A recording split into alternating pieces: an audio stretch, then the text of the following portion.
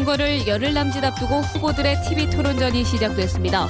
수도권의 야권 연대 문제를 놓고 후보들 간 치열한 공방이 펼쳐졌습니다. 현역 의원과 법조인 출신 정치 신인이 맞붙은 나주 화순 선거구는 혁신도시 주민들의 선택과 소지역주의가 승패의 변수가 될 전망입니다. 올해 8월 수서발 KTX가 개통하면 호남 고속철을 이용하기가 한결 수월해질 것으로 기대되고 있습니다. 승객들의 편의성을 높이는 문제는 여전히 개선 과제로 남아 있습니다. 집중 취재했습니다. 4월 첫날인 오늘 올 들어 가장 따뜻했습니다. 주말인 내일도 맑고 포근한 날씨가 예상되지만 일요일에는 비 소식이 있습니다. 여러분 안녕하십니까. 공식적인 선거운동과 함께 후보들의 TV 토론도 본격적으로 시작됐습니다. 광주 북구을 선거구의 국회의원 후보들은 야권연대와 DJ 적통 논란 등의 이슈를 놓고 치열하게 맞붙었습니다. 윤고수 기자입니다. 후보들이 주도하는 토론에서 질문은 한 후보에게 집중됐습니다. 최경환 후보님께 최경환 후보에게 저도 최경환 후보님께 질문 한번 드리고 싶습니다. 쟁점은 수도권의 야권 연대 문제였습니다. 이영석 후보는 국민의당 안철수 공동대표를 세월호 이준석 선장에 빗대면서 공격했고 지금 수도권에서 야권이 다 침몰하게 생겼는데 안철수 대표는 가만히 있으라고만 합니다. 더 나아가서는 움직이면 제명하겠다고 이렇게 이야기하고 있습니다. 최경환 후보는 수도권에서 연대가 이루어지지 않은 책임을 더민주에 돌렸습니다. 더불어민주당이 국민의당을 향해서 항복선을 요구하고 있습니다.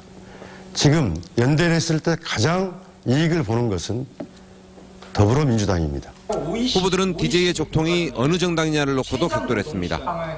윤민호 후보는 두 야당을 싸잡아 비판하며 진짜 야당에 투표해달라고 호소했고 이인호 후보는 그동안 야당 후보 뽑아줘서 뭐가 바뀌었냐면서 지지를 호소했습니다. 얼마나 속상하십니까? 얼마나 화나십니까? 대한민국에 진짜 야당이 있습니까? 강주의 미래를 위해서는 여당 국회의원 한 명쯤은 반드시 꼭 필요하다는 것을 말씀드립니다. 무소속의 노남수, 이영수 두 후보는 별도로 토론을 벌인 자리에서 자신들의 공약을 알렸습니다. 생방송으로 진행된 이번 토론에서 후보들은 정치 이슈로 치열하게 맞붙은 반면에 광지역 활성화나 자동차 백만대 사업 등 지역의 현안 사업에 대해서는 차별점이 드러나지 않았습니다. MBC 뉴스 윤문수입니다. 공식 선거운동 첫 주말을 맞아 더민주 김종인 대표와 국민의당 안철수 대표가 텃밭 민심 행보에 나섭니다. 김종인 대표는 내일은 광주를 방문해 동남갑 을과 서구갑을 후보들의 유세를 지원하며 야당 결집을 호소할 예정입니다. 지난 주말에 이어 일주일 만의 방문으로 텃밭 사수에 대한 강한 의지를 보인 것으로 풀이됩니다. 안철수 대표도 이번 주말 1박 2일 일정으로 광주 전남을 찾아 양동시장과 송정역 등에서 유세를 갖고 양당 체제가 아닌 3당 체제로 재편돼야 한다고 강조할 예정입니다.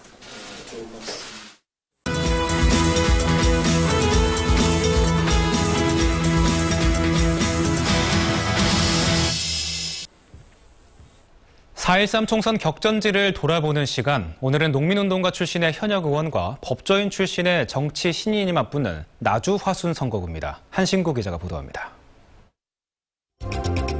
다양한 경력을 갖춘 민생 전문가냐, 참신하고 능력 있는 젊은 일꾼이냐, 혁신도시를 낀 나주 화순 선거구의 최대 쟁점입니다. 더민주 신정훈 후보는 농민운동가와 도의원 나주시장을 거치면서 행정과 정치를 비롯해 다양한 경험을 갖췄다는 게 최대 장점입니다. 취약한 농촌의 경쟁력 강화와 혁신도시의 완성을 위해서는 지역의 탯줄을 묻은 농민 농촌의 대변자가 필요하다고 강조합니다. 이제 혁신도시를 제대로 완성해야 합니다.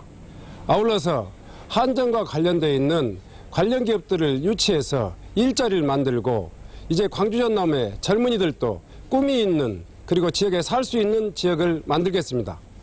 국민의당 송금주 후보는 법조인으로서 다양한 경험을 갖췄다며 새로운 나주 화순과 새 시대를 열어갈 새 인물을 뽑아달라고 호소하고 있습니다.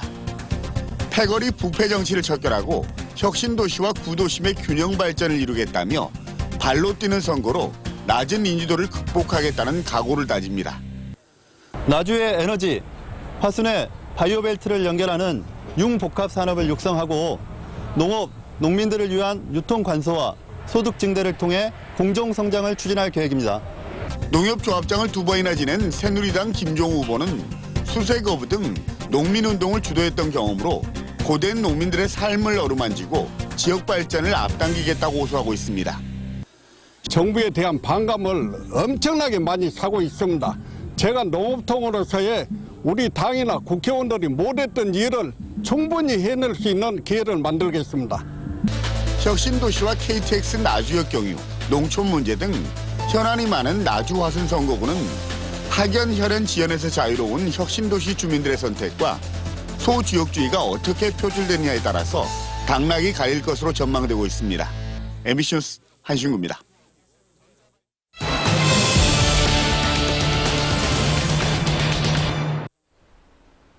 호남 고속철은 개통 직후부터 폭발적으로 늘어난 수요 때문에 기차를 늘려달라는 요구가 이어져 왔습니다. 정부와 쿠레일은 올해 개통되는 수서발 KTX가 생기면 해소될 것이라고 말해왔는데 증편 효과가 얼마나 될지 따져봤습니다. 김철원 기자가 보도합니다. 용산발 KTX에 이어 올여름 또 하나의 KTX가 호남 고속철도를 달리게 됩니다. 서울 강남 수서역에서 출발하는 이 KTX의 이름은 수서발 KTX인 SRT. 수서역에서 평택역까지는 별개의 선로를 달리다 용산발 KTX와 만나는 평택에서부터는 같은 철로를 이용합니다. 광주 송정역까지 오는데 용산에서 오는 것보다 거리가 짧아서 소요 시간도 1시간 15분, 요금도 그만큼 싸질 전망입니다. 개통 시점은 오는 8월. 호남선에는 모두 왕복 36편의 열차가 배치될 것으로 예상됩니다. 호남 고속철에서 현재 운행되고 있는 용산발 KTX는 하루 48편, 여기에 수서발 36편까지 더해지면 수치상으로는 하루 84편의 KTX가 송정역을 오가게 되는 셈입니다. 수서발 KTX가 개통되면 현재 평균 40분대인 KTX 배차 간격이 크게 줄어들 것으로 예상됩니다. 승객이 몰리는 시간대에 혼잡과 부족한 좌석 문제가 개선될 것으로 예상되지만 광주시의 고민은 따로 있습니다. 국토교통부와 코레일이 KTX의 수익성이 떨어질 것을 우려해 기존 용산발 KTX의 운행 편수를 줄일 수도 있다는 것입니다. 현재 국토부나 코리아에서 계획은 이제 발표를 안 하지만은 우리는 그게 좀 우려, 우려스러워서 그래서 정편을 계속 건의하고 있는 그런 말- 형편입니다. 국토교통부 관계자는 광주 MBC와의 통화에서 수소발 KTX가 개통되면 효과적인 운용을 위해 용산발 KTX 편수가 줄어들 수밖에 없을 것이라고 예상했습니다. 올여름 수소발 KTX가 개통되더라도 호남 KTX의 증편을 둘러싼 논란은 피할 수 없을 것으로 보입니다. MBC 뉴스 김철원입니다. 호남 고속철도 개통으로 광주 송정역은 매일 만 명이 넘는 이용객이 몰려들고 있습니다. 하지만 도심 외곽에 있다 보니 접근성이 떨어지는 데다 주차난은 해소될 기미를 보이지 않고 있습니다. 이계상 기자입니다. 평일 낮 시간대에도 광주 송정역 주변 주차장은 포화 상태입니다. 주차장 부지가 비좁다 보니 고작 400여 대를 수용하고 나면 만차입니다. 다급하게 차를 세워두고 열차를 타야 하는 이용객들은 한바탕 홍역을 치를 수밖에 없습니다. 위쪽에는 장애인 오고 뭐 경차로 돼 있어서 저쪽으로 지금 넘어갔거든요. 저쪽에 넘어가니까 뭐 주차할 곳이 거의 없어서 몇 바퀴 돌다가 지금 주차되는 거예요. KTX 출도착 시간에는 송정역 주변 도로의 혼잡이 절정에 이릅니다. 마중이나 배웅 나온 차량과 택시, 버스들이 양쪽 갓길 차로에 줄지어 늘어섭니다. 차가 그냥 나가지 못하니까 복잡할 수밖에 없어요. 정체가 되니까. 전남권으로 오가는 승객들은 시외 버스편이 턱없이 부족하다 보니 다시 광천터미널을 거쳐야 하는 상황입니다. 주차 공간을 늘리고 접근성을 높이기 위해서는 복합 환승센터 건립이 시급한데 부지 확보 문제로 허송 세월만 보내고 있습니다. 내년 착공 목표는 물 건너간 지 오래고 사업 시행 예정자와 코레일 측이 부지 임대 조건을 놓고 협의를 진행하고 있지만 여전히 입장차를 좁히지 못하고 있습니다. 이게 갖고의 노력을 해도 안 된다 그러면 이제 자기들이 스스로 해지를 포기를 하고 그 다음에 이제 다른 방법을 이제 강구를 좀 해야죠. 광주 송정역이 호남의 최대 관문 역할을 할 수 있도록 광주시와 정치권이 해법 찾기에 보다 적극적으로 나서야 한다는 지적입니다. MBC 뉴스 이계상입니다. 4월 첫날인 오늘 5월 중순의 기온을 보이며 올 들어 가장 따뜻했습니다. 이번 달은 봄 축제도 풍성해서 주말 나들이 하기에도 좋겠습니다. 김은수 기상캐스터입니다. 나뭇가지가 벚꽃다발을 한가득 안고 있습니다. 황홀한 연분홍빛이 눈길은 물론 마음마저 앗아갑니다. 분홍빛으로 물든 빼어난 풍경에 평일에도 구름처럼 사람들이 몰렸습니다.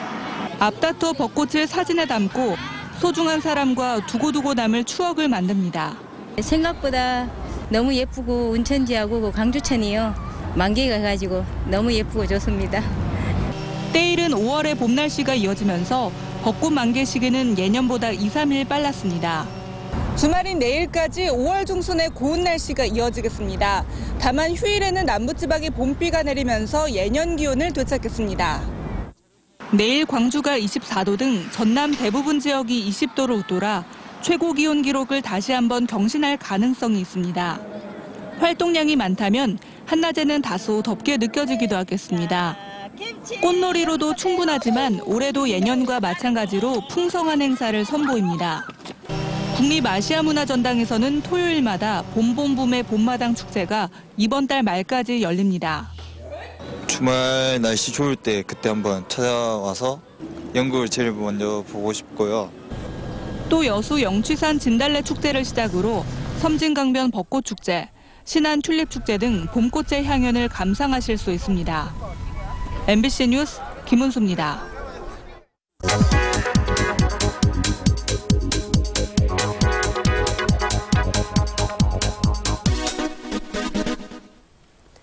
광주에서 나무 심기 가장 좋은 날은 언제일까요? 나뭇잎이 나는 시기와 땅속 온도를 분석한 결과 하루 평균 기온이 6.5도일 때 나무 심는 것이 가장 좋은데요. 광주는 2월 24일쯤으로 식목일보다 40여일이나 빨랐습니다. 이는 식목일이 처음 제정된 1940년대보다 최근 평균 기온이 크게 올랐고요. 일조 시간도 늘었기 때문입니다. 만약 4월에 나무를 심으면 어떻게 될까요? 나무는 잎이나 눈이 튀면서 뿌리가 자랍니다. 4월이면 이미 나무에 잎이 나오기 때문에 자칫 잘못 건드리면 나무가 죽을 수도 있습니다. 이런 이유로 과거 정부에서 식목일을 바꿔야 한다는 의견이 나왔었는데요. 식목일의 상징성을 유지하고 지자체별로 나무 심는 시기를 탄력적으로 운영하면 된다는 이유로 바뀌지 않았습니다. 여러분은 4월 5일 식목일 어떻게 생각하시나요? 카드뉴스였습니다. 채용 비리와 주식 사기에 연루돼 무리를 빚은 광주 지역 교원 2명이 나란히 직위 해제됐습니다. 광주시 교육청은 교사 채용 비리 의혹에 연루된 모 중학교 교감 54살 A씨와 수십억 대의 주식 투자 사기극을 벌인 모 초등학교 교사 39살 B씨를 직위 해제했습니다. 시교육청은 조만간 교원 징계위원회를 열어 징계 수위를 확정 지을 계획입니다. 광주 도시철도공사가 정규직 15명과 기간제 근로자 2명을 신규 채용합니다. 이번에 채용하는 직원은 승무직과 기계직, 전산직 등으로 직종에 따라 광주나 전남북의 주소 또는 등록 기준지를 두고 있어야 지원할 수 있습니다. 원서 접수는 정규직의 경우는 7일부터, 기간제 근로자는 4일부터 시작합니다.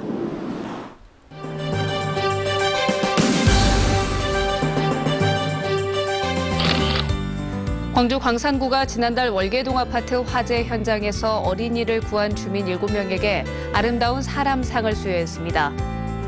광주 도시공사는 광주 시니어 클럽 협회와 함께 환경지킴이 발대식을 열었습니다. 곡성구는 아름다운 숲속의 곡성 만들기 사업에 나섰습니다.